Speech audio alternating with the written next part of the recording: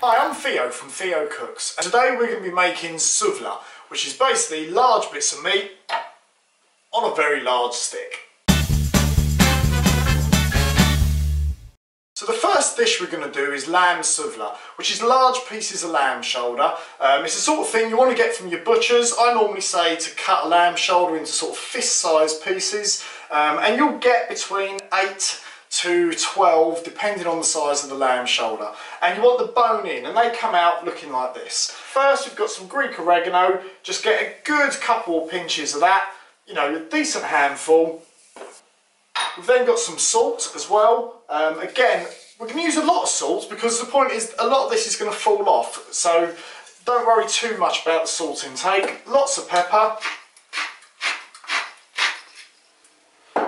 And then just to help all of those flavourings stick to the meat, we're just going to give it a drizzle of olive oil. And I'd probably say quarter of a cup.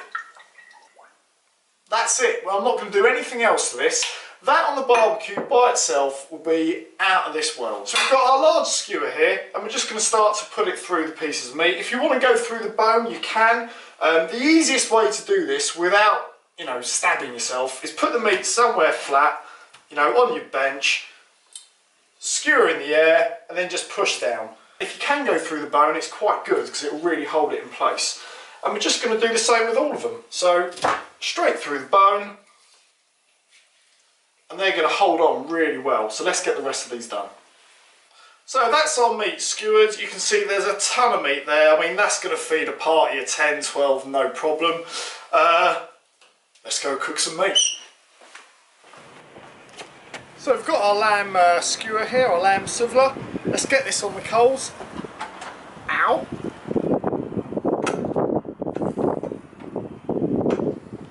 Pop that on, turn the engine on.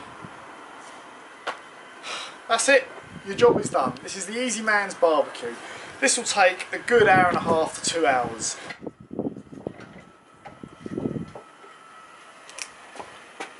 Perfect. See you in a couple of hours.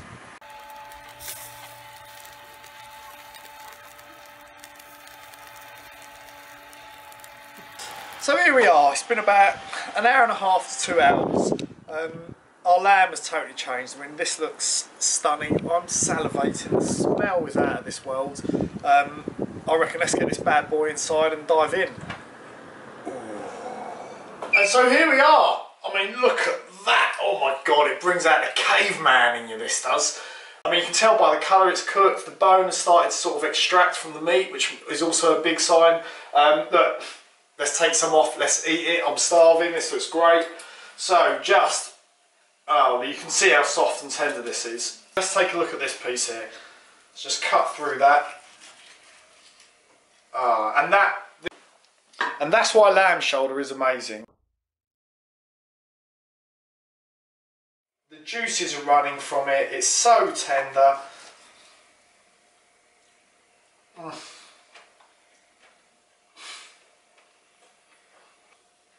That is why everyone should have a Greek style barbecue.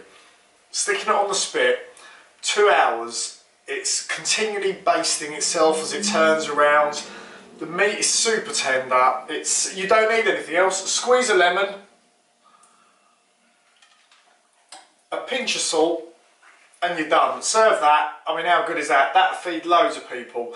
Bung that in the middle of a table on a platter, bit of Greek yogurt, salad, Done, you're sorted. So that's me done. Thanks for watching. I hope you've enjoyed it. Look, make some souvla. It's amazing. It's out of this world. Remember to subscribe to the YouTube channel and check out theocooks.com for some more recipes. Thanks very much.